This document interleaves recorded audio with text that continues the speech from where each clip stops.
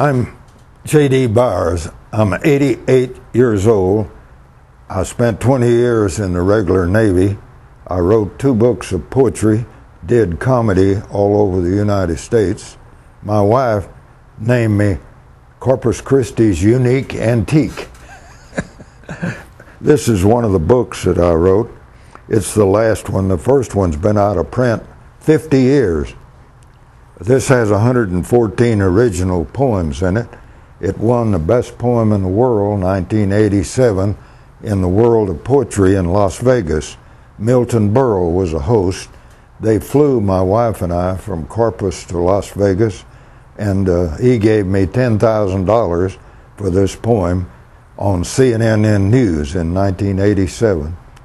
And uh, it was the only winner in the entire contest. It's it's the last year they were honest with it. Now they run a different scheme. They run a scheme where you have to contribute and you're charged $69 for each poem, no matter how bad it is. They put in a big book, which nobody buys. You have to buy the book to say that you've been in print. Anyway, I'm going to quote you a couple of poems from this book. The one that won $10,000 is called In the Night. You could only submit two poems to the world of poetry that were unpublished. I had already had a book published and it was still selling. But this poem I didn't think was any good. My wife chose it of all these 127 poems in this book that had never been printed at that time. And I chose another one in here that I'll quote to you. Anyway, this poem is called In the Night. Strange are the people who pass in the night, for shadows hide faces and vices from sight. Music and laughter, lovers and song, whiskey and orgies of couples mixed wrong, moonlight and marriage and kisses are there, and tender caresses of flesh soft and bare, fights, broken spirits, hijacking thugs, all night games of poker with holes in the rugs, sleepy eyed children dragged out of bed to go with their parents to places they dread, pictures and scenes that parade till the dawn, and they'll start once again once the day has moved on, the dying, the living, all whipped in the whirl of the cesspool of shadows that blankets the world. Black, cool, soft darkness, measled with light, a haven for people who pass in the night. Now that won the whole thing, and the poem that I submitted that went with it that didn't win anything, which I thought was a cinch because it was a gambling poem, gambling, talking about gambling, and it was in Las Vegas, so logically it should have been a winner. A winner. Here's that poem. It's called "Life's Poker Game." Living is a big game of poker. Winning or losing, you play. Your chips are the days in your lifetime, and what you do with them's your pay. Your chances of winning are scanty, your chances of losing are high, and your luck all depends on your virtues and sins, and one never wins unless they try. God gives you chips to begin with, and He deals your cards on your name. If you travel with sin, he may not deal you in. So play square. It's a big poker game. Now, the poem that's the best Marine poem in the world, and they wrote it in appreciation to, to me coming up with it on the wall of the San Diego Marine Training Center with my name on it. And I, being a sailor, that's not that's a big compliment. Marines usually are not too fond of sailors anyway, I was in a Higgins boat going into Guadalcanal with the 1st Marine Division, and I wrote the poem two days later after thinking about it.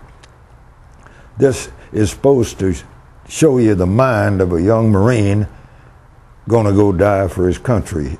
We knew that we were outnumbered in Guadalcanal 60 to 1, and we were fighting a foe who had never lost a war in 600 years and we had neither sea or air supremacy. So it was more or less a suicide mission to hold Henderson Field, our first aggressive act after Pearl Harbor in taking something from the Japanese. They took it and held it at great cost. This is the mindset of a young Marine going to die for his country.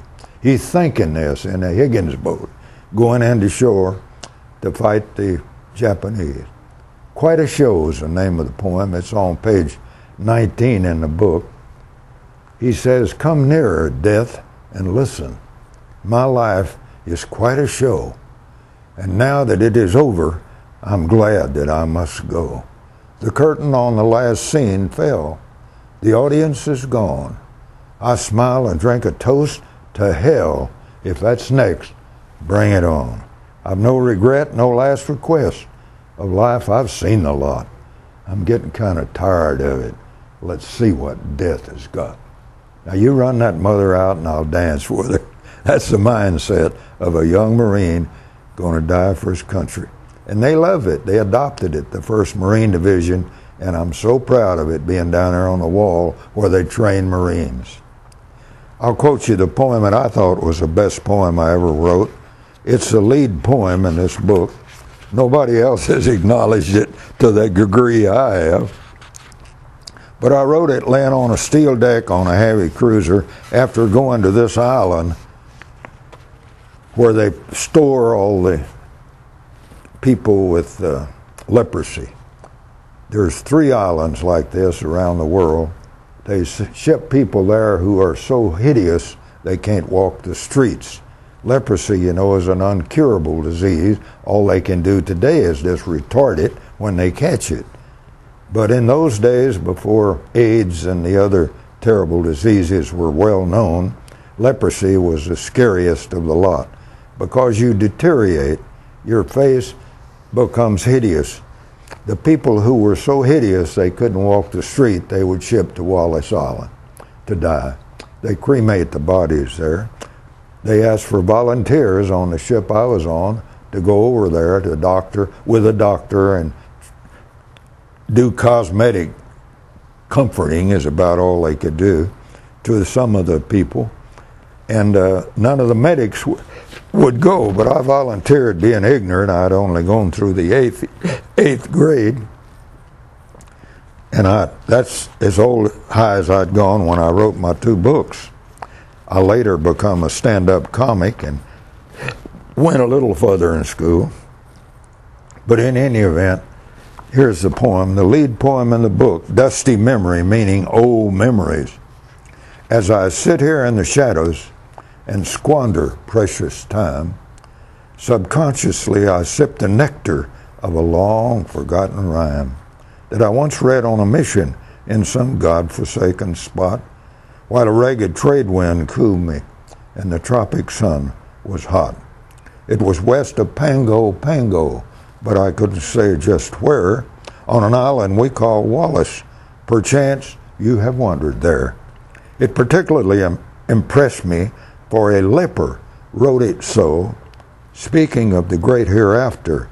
Confidentially, I know he hadn't meant for me to read it, but I couldn't help myself. It was written very legibly upon an upper shelf, stating facts that he had hoarded after much research in hell. This man, half dead, had wrote it. So if fiction, who can tell? In the night it comes back to me, slowly creeping in my brain. I light a cigarette and wonder if tomorrow it will rain. Showing how your mind does when it can't remember something that impressed you. And you, when you give up trying to remember it, you turn to little everyday incidentals to defend your lack of ability to remember. Anyway, there's 114 original poems in here. The book costs 10 bucks, and uh, if you want an autographed copy, I sign them and get them to you for 12 bucks if you're in the United States. It's in the uh, 50th reprinting on the web, but it's not on the web, I don't think, anymore. I never had a computer, so my son put it on there, and uh, he reaped the benefits. Anyway, thank you for listening. I hope that uh, we meet again. I'm J.D. Byars.